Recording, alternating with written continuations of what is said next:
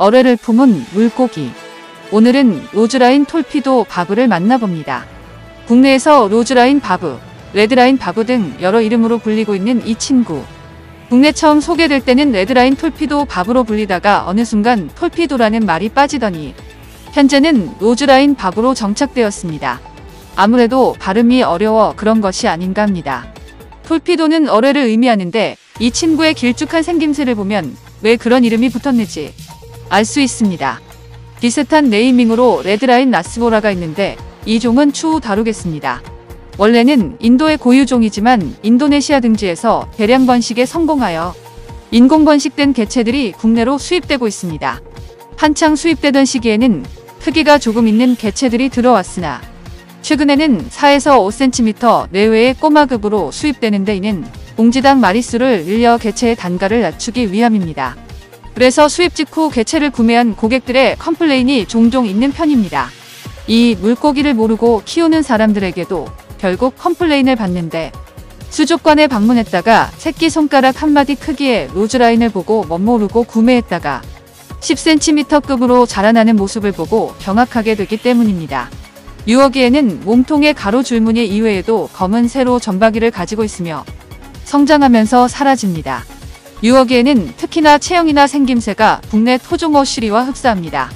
자연 서식지는 용존산 소량이 많은 강과 하천지대로 강의 중 상류와 물이 천천히 흐르는 웅덩이스러운 곳에서 무리지어 활동합니다.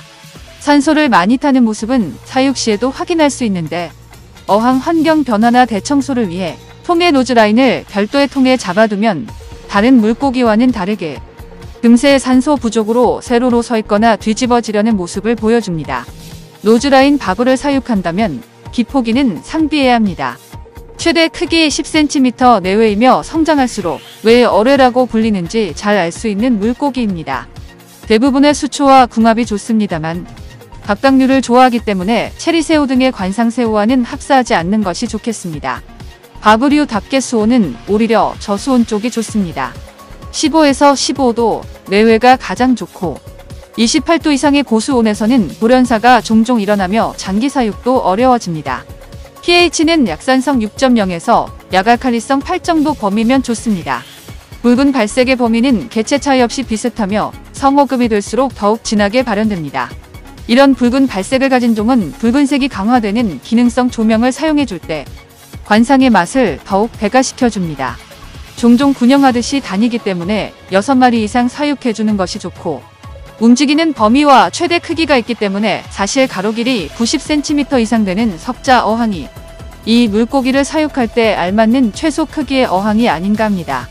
암컷이 수컷보다 조금 더 크게 자라지만 발색은 수컷 쪽이 더욱 뛰어납니다. 야생 개체들의 성비가 독특합니다. 수컷의 비율이 암컷보다 많으며 번식 시 아래 양도 많지 않기 때문에 환경 파괴에 취약한 종입니다.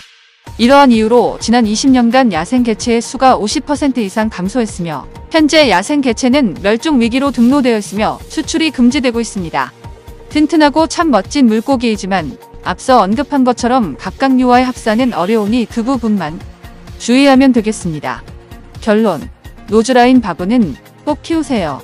애니몰로 물생활 백과사전 Roseline barb 편이었습니다. 사육 정보가 궁금한 종에 대해 댓글로 달아주시면 우선적으로 영상을 만들겠습니다. 시청해 주셔서 고맙습니다.